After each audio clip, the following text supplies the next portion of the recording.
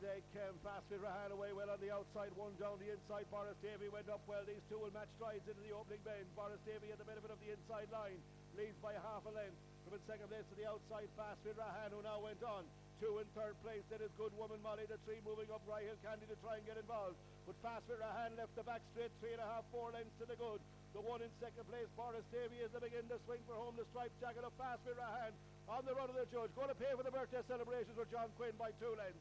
One in second place, Borris Davey. Three in third place, Hill Candy in a time of 29.79.